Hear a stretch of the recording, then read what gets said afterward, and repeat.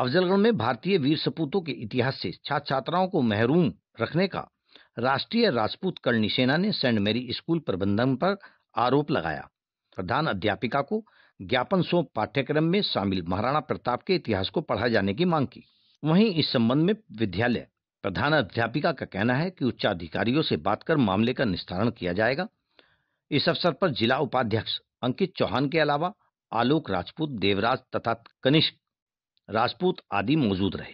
अफजलगढ़ से विनय भार्गव की रिपोर्ट। निसंदी जो हिंदू इतिहास के साथ छेड़छाड़ करने का प्रयास कर रही है, ये कदाचित बर्दाश्त किया नहीं जाएगा। और महाराणा प्रताप जी, जिन्होंने भारत के स्वाभिमान के लिए कई साल घास की रोटियाँ खाई और इतिहास बचाने के लिए अपने प्राण भी गवा दिए बाद में इस देश को बचाने के लिए। ये एक चैप्टर डिलीट करना चाह रहे हैं, कक्षा पाँच का। वो इन्हें बिल्कुल करने नहीं दिया जाएगा। और करणी सेना। इन, इनको सात दिन का समय दिया है। अगर ये इसको बदलते नहीं है तो इन स्कूलों में सात दिन के बाद ताले डाल दिया